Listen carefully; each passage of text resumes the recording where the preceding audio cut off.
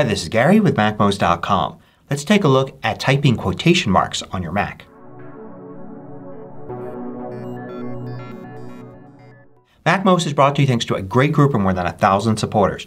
Go to MacMost.com slash Patreon. There you could read more about the Patreon campaign, join us, and get exclusive content and course discounts. So when typing on your Mac keyboard, things work pretty much as you would expect. If you type the letter A, you get a lowercase a. Shift an A and you get an uppercase A. But there's one key on your keyboard that will give you different characters at different times. So let's say I want to use quotation marks to enclose a word. I use Shift and then the quote key, which on American keyboards is just to the left of the return key. And you can see I get quotation marks. Then I'll type a word and then I'll use exactly the same key, Shift and then quotation marks again. But notice the character I get now looks different than the first time I used that key. I get curly quotation marks or curly quotes on the left and the right that curl in different directions. But then sometimes you may actually type quotation marks and get a third character. If I type it here and then a word in here, notice I get exactly the same set of double quotes on each side of the word. And they're not curly, they're straight. So there are actually two different types of quotation marks. Curly and straight. And the curly ones have a left and a right variation. And the same thing happens for single quotes. So without the shift key, if I use the same key here and then I type, you can see I get straight single quotes. So these are called single quotes and the other ones technically are double quotes. But usually you would do a single quote like this and notice it's curly as well. And then you get its matching right side variation when you do it again. So when you get curly quotes like that, that's usually because you have a feature on your Mac turned on called Smart Quotes. And you could find this feature in many different places. For instance, there's a system-wide place where you can look. If you go to System Settings and then go to Keyboard and then go to Input Sources and Edit, one of the options here is to use Smart Quotes and dashes. If you turn that on, then you should get these curly quotes whenever you use the regular quotation mark key on your keyboard in most apps. But a lot of apps, particularly ones where typing is the whole point, you've got an individual setting. So here in Pages I've got a setting here and if I look under autocorrection there's use smart quotes and dashes. But there's also a setting here under Edit. If you go to Substitutions you'll see smart quotes there. So what's going on here is that this is a setting you can turn on and off as you work on a document. But the setting here, that's the one that determines if that setting's on or off when you start a new document.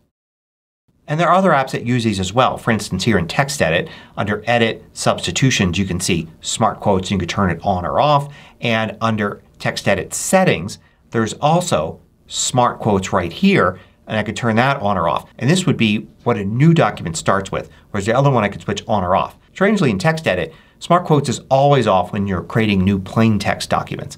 But if you're creating rich text documents it obeys that setting. Other Apple apps have this as well and even third-party apps will have their own variation on this if typing is the main point. For instance, Microsoft Word, if I go to Word Preferences and then go to Autocorrect and then look at auto format as you type. That's where I can find automatically as you type replace straight quotes with smart quotes.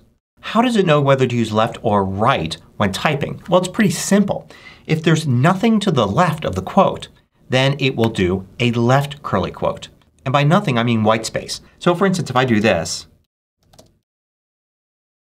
and just before I type the next word I use the double quotes, it's going to curl them to the left because there's white space over here. Then if I type something and then try to use double quotes again, if there's a letter to the left of it, it will use the right quotes. Now sometimes a single quote is actually an apostrophe. That's a completely different thing in grammar of course, but it's the same character. And since there's a letter to the left when you're using an apostrophe, you get the curly right single quote, which makes sense. That's the one you want to use. Now you may think, well that's great, but why would you ever want to use straight quotes? I mean some people might like it as a style choice, but in general straight quotes are used when you're typing computer code. And the Internet is filled with web pages that have computer code on them. There are tons of sites that just are for programmers. Even if you're not a programmer, you may have from time to time typed a piece of HTML, CSS, or even JavaScript code. When you do so, you don't want to use curly quotes. You want to use straight quotes. Now you wouldn't normally be typing in Pages computer code. You would be typing in a programming environment like Xcode for instance. And that environment would know to use straight quotes. But sometimes we're writing a blog post, say online, and it gives curly quotes where it's a piece of computer code and you want it to be straight quotes. Well, that could be an issue. So you want to watch out for that because if somebody copies and pastes your code that has curly quotes in it into their programming environment, it's not going to work. The programming environment wants straight quotes for computer code, not curly ones. Now you should also know that you could manually type curly quotes.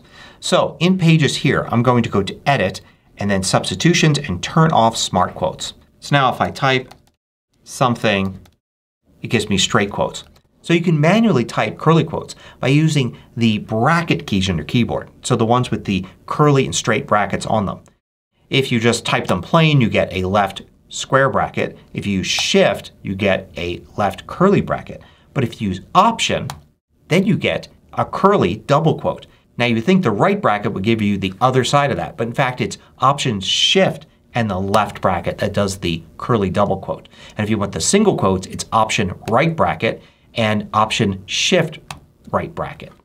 Likewise if you want to type a straight quote while you've got smart quotes turned on you can hold the control key down. So using control and the quote key will give you a straight single quote.